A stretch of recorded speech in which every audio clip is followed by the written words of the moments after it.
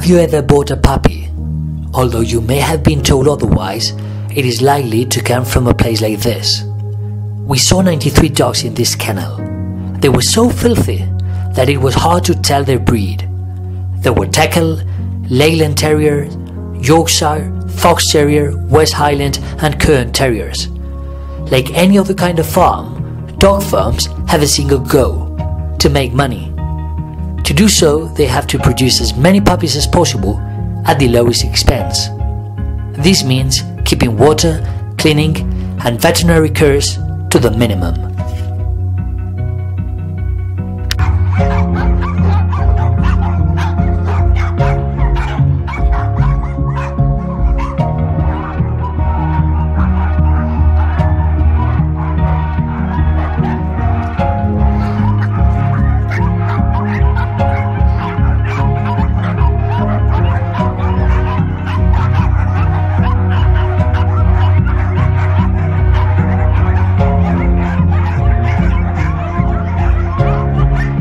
A very young age, mothers are forced to breed up to two times a year.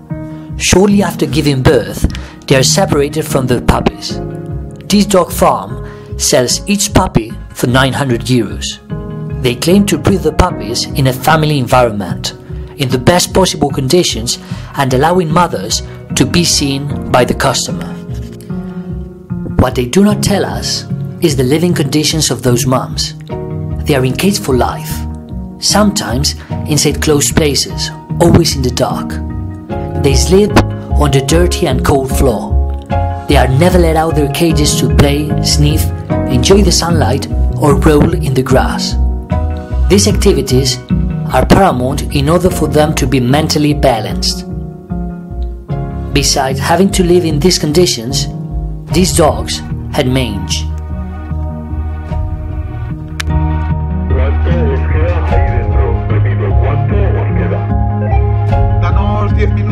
Minutos más, seguimos encontrando más perros. ¿Pero cuántos, cuántos habéis visto? No, no los hemos contado, pero unos 100.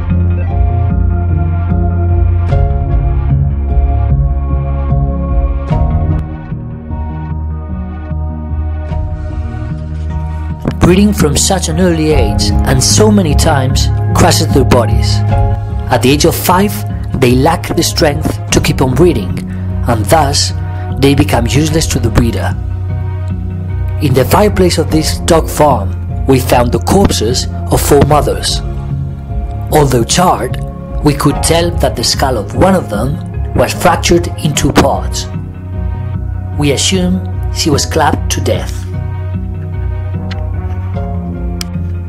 These females are really young, but they can no longer be sold as puppies. They will soon become the next generation of mothers. They need to run, caper, and play. Instead, they live in a tiny enclosure, filthy and teeming with excrements and urine.